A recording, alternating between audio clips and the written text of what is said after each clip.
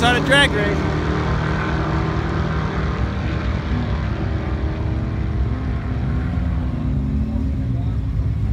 Ah, shit, slower.